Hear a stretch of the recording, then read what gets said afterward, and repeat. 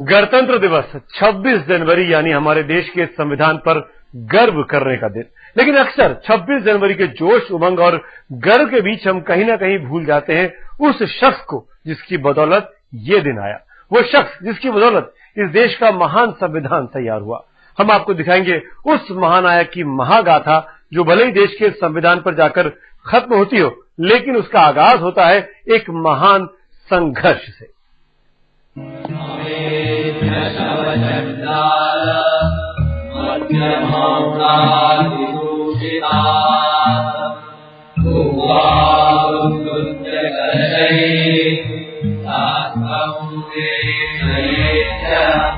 हम लोग कोई अमर नहीं हो जाएँगे पानी पीने से, उस तालाब का लेकिन हमारा ये कदम साबित करेगा कि हम लोग भी इंसान हमें ये सिद्धांत लागू करना है कि हिंदुस्तान में किसी भी व्यक्ति की योग्यता उसके जन्म के अनुसार नहीं, बल्कि उसके गुणों से तय होगी।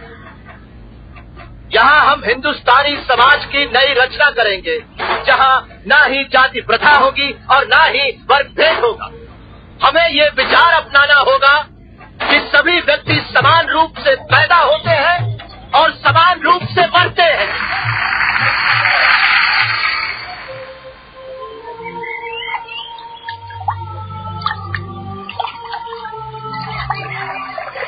साल उन्नीस सौ सत्ताईस।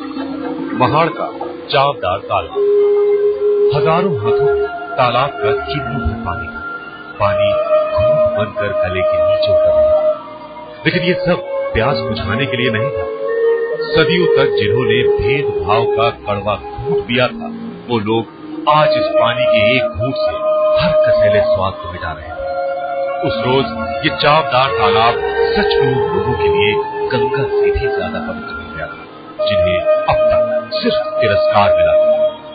और इस गंगा को महाड़ की धरती पर लाने वाला भगीरथ था डॉक्टर भीमराव बाबा साहेब अंबेडकर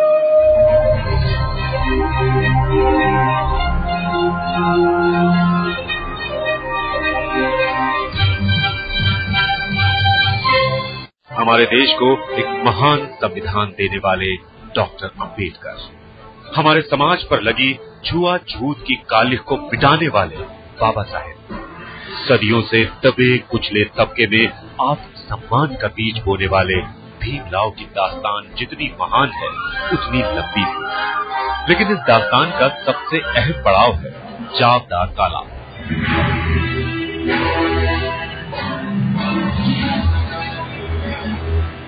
वो 1920 का दौर था। छुआछूत और भेदभाव पूरे चरम पर था। और ऐसी ही एक मिसाल थी ये महाड़ का चावदार तालाब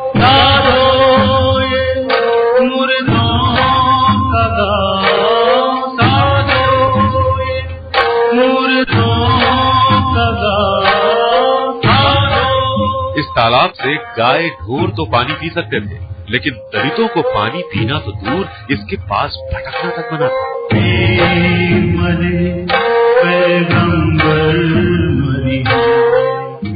पर पानी लेने का अधिकार जो कानून से मिला था, लेकिन जिस पर अमल नहीं होता था, वो उन्होंने अमल करवाया। बाबा साहेब आगे आगे थे और हज़ारों लोगों का काफिला उनके पीछे चावदार तालाब पहुँच गया। इसके बाद वो हुआ जो इससे पहले हिंदुस्तान के इतिहास में कभी नहीं हुआ था। पहली बार दबे कुचलों और पीड़ितों ने अपना हक दर्ज कर दिया था।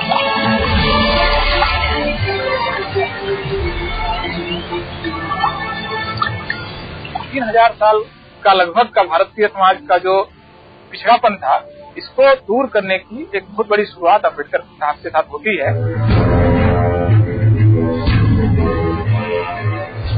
तालाब का पानी पीना तो एक शुरुआत भर थी।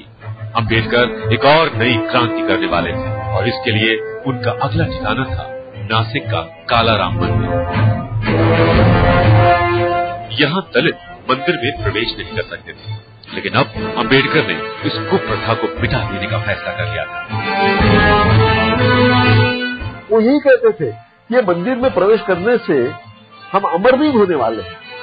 हमारे लिए कुछ को कुछ खास मिलने वाला है, ऐसी भी बात नहीं है। और मंदिर में प्रवेश हम नहीं करेंगे तो हम मरने वाले भी नहीं है। लेकिन मुद्दा ये है कि मंदिर में प्रवेश करना ये मेरा हक है। अंबेडकर ने मंदिर में प्रवेश के लिए सत्याग्रह शुरू किया। धर्म के ठेकेदारों ने मंदिर के दरवाजे बंद कर दिए।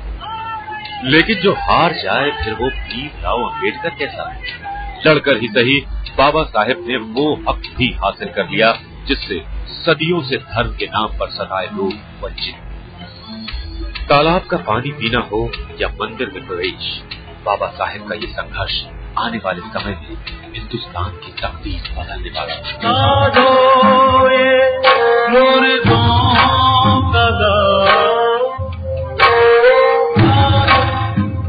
सवाल कई हैं, कि आखिर क्यों बाबा साहेब अचानक उठ खड़े हुए सदियों से हो रहे अन्याय के खिलाफ? और इसका जवाब है, उनका बचपन। वो बचपन जिसपे हर कदम पर भीम को महसूस हुआ कि दुनिया उसे उसके गुणों से नहीं, बल्कि उसके जन्म से तोलती है। और इसी बचपन में भीम ने खाई इस समाज को बदल डालने की कसम। एक दिन एक छोटा सा बच्चा नदी किनारे बाल कटवाने के लिए गया, लेकिन बाल काटने वाले ने उसे मना कर दिया। वो भैंस के बाल तो काट सकता था, लेकिन उसके नहीं। यही था छोटे भीमा की ज़िंदगी का पहला सबक। लेकिन ये तो बस शुरुआत थी। कबीर कहे ये जग अंधा। कबीर कहे ये जग अंधा। वो तारीख थी 14 अप्रैल अठारह सौ इक्यानवे। मध्य प्रदेश के इंदौर शहर के करीब महू में हुआ भीमा का जन्म। उसके पिता रामजी सतपाल ब्रिटिश फौज में सूबेदार मेजर थे। लिहाजा उन्होंने अपने बच्चों, खासकर छोटे भीमा की शिक्षा पर खास ज़ोर दिया। लेकिन जिस समाज में इंसान की परख उसके गुण से नहीं, बल्कि उसकी जाति से होती हो, वहाँ भीमा के लिए शिक्षा हासिल करना बेहद मुश्किल था।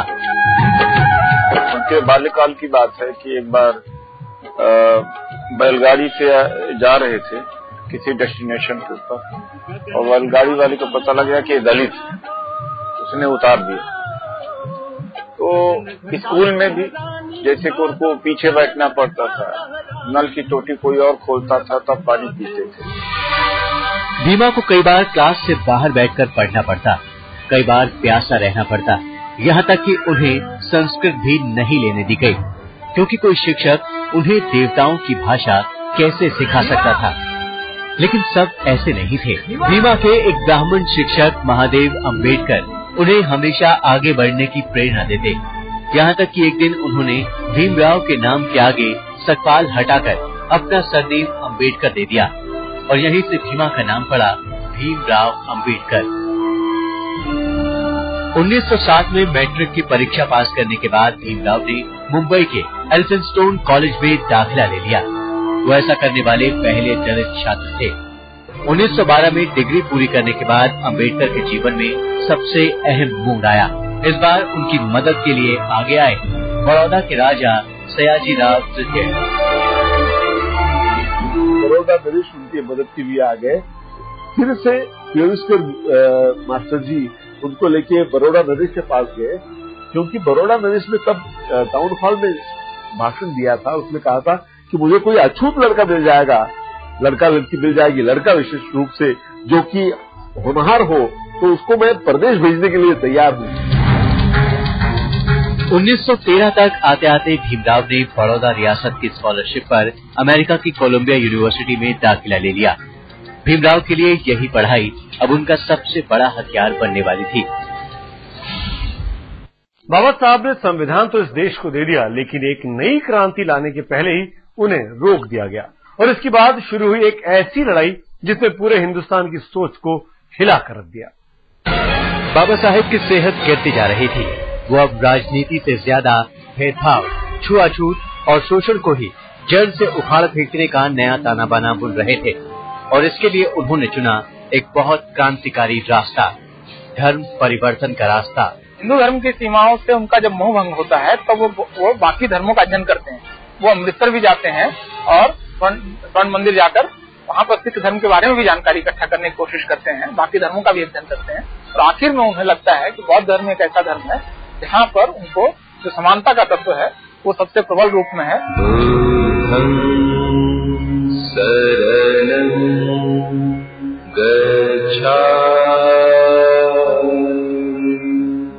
आखिरकार 14 अक्टूबर 1956 का वो दिन भी आ गया जब बाबा साहेब ने बौद्ध धर्म को स्वीकार कर लिया। उनके साथ पूरे पाँच लाख लोगों ने बौद्ध धर्म को ग्रहण किया। पूरे देश में बाबा साहेब के इस कदम से खलबली मच गई। लेकिन ये सिर्फ़ धर्म परिवर्तन नहीं था, बल्कि ऊंच नीच को खत्म करने के लिए उठाया गया एक कठोर कदम था।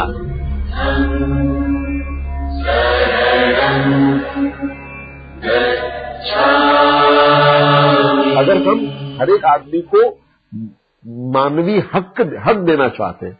तो उसके लिए वो हिंदू धर्म में रह के वो मिलने वाला नहीं है। उसके लिए धर्म छोड़ के बाहर जाना पड़ेगा। डॉक्टर भीमराव अंबेडकर के जीवन का उद्देश्य पूरा हो गया था।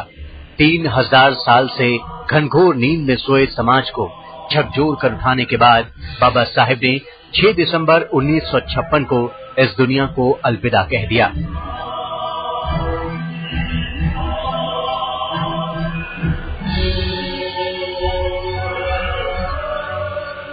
उनके अंतिम संस्कार में लोगों की भीड़ मुंबई की सड़कों पर उमड़ आई।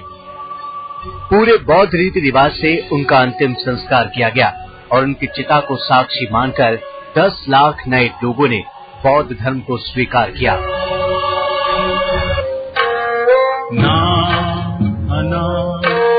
अनंत रहते।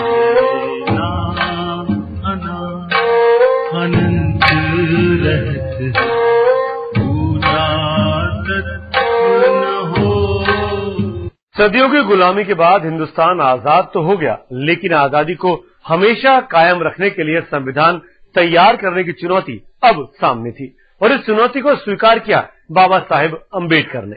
मैं यहाँ पर संविधान की अच्छाइयाँ गिनाने नहीं जाऊँगा, क्योंकि मुझे लगता है कि संविधान कितना भी अच्छा क्यों न हो, वो अंततः बुरा साबित होगा, अगर उसे इस्तेमाल में लाने वाले लोग बुरे हों। और संविधान कितना भी बुरा क्यों न हो वो अंततः अच्छा साबित होगा अगर उसे इस्तेमाल में लाने वाले लोग अच्छे। देश को महान संविधान सौंपते समय बाबा साहेब ने यही कहा था और सच ही कहा था, क्योंकि देश को नया, ताकतवर और महान संविधान देने के लिए बाबा साहेब ने दिन रात एक किया था।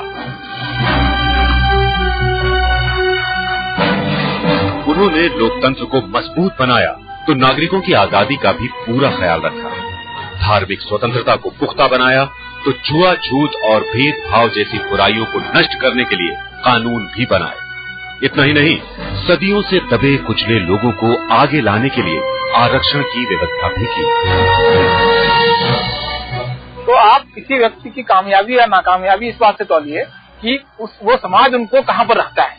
भारतीय दलित या भारतीय वंचित और पिछड़े वर्ग के लोग अगर आज अंबेडकर को अपने सिर पर बैठाते हैं तो आप इस बात को समझ सकते हैं इन सारे लोगों की बेहतरी के लिए, भलाई के लिए उन्होंने कितना बड़ा काम किया। और ये बड़ा काम सिर्फ़ दलितों और पिछड़ों के लिए नहीं। बाबा साहेब ने सिर्फ़ दलितों का ही नहीं, बल्कि हर गरीब हिंदुस्तानी का संविधान में ख्याल रखा। आज हिंदुस्तान के 121 करोड़ लोगों की सबसे बड़ी ताकत है उनका महान संविधान। और इस संविधान के हर पन्ने पर छलकती है बाबा साहेब की काबिलियत और दूरदर्शिता